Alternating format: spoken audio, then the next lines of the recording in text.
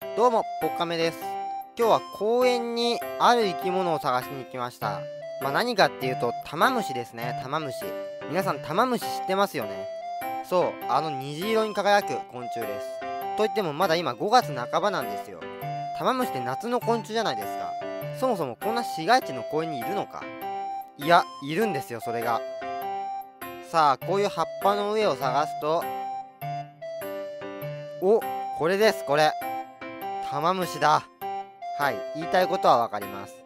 舐めてんのか、どこがタマムシなんだと。まあそうなりますよね。でもこれは間違いなくタマムシの仲間です。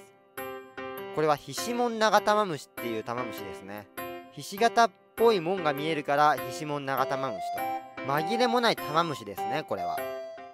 といってもタマムシって聞いて真っ先にイメージするのはやっぱヤマトタマムシですね。まあ確かにあれは美しい。でもタマムシの仲間タマムシ科の仲間って日本だけで200以上いると言われてるんですよ。そして実はその大部分がこのナガタマムシの仲間です。つまりタマムシって言ったらむしろこっちだと言っても過言ではない。このシモンナガタマムシはそんなナガタマムシの中でもよく見られる種類です。分布は本州から九州です。残念ながら北海道や沖縄にはいないみたい。主に餌となるエノキやケヤキなどの葉っぱの上で見られます。つまり餌はヤマトタマムシとも共通してますね。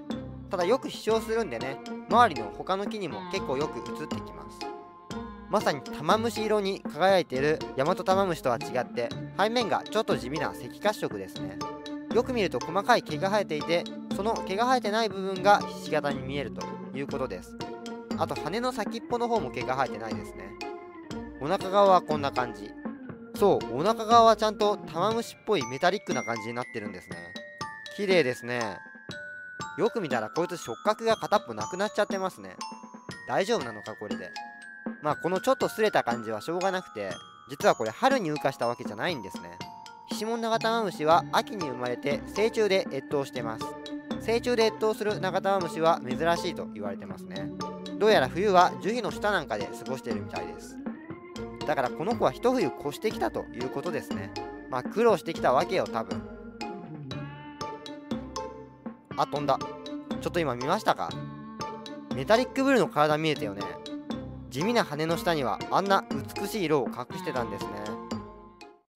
はいというわけで今回はヒシモンナガタマムシを観察しました。タマムシの仲間って基本的にみんな中高生なんでね。